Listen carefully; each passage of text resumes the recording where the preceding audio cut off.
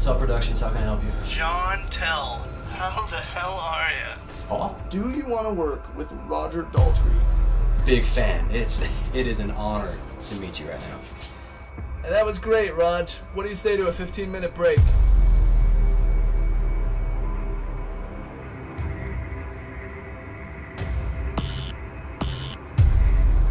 It's a fucking ghost.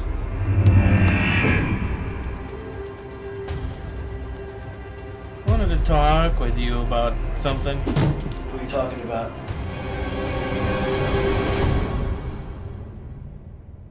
Sneakers.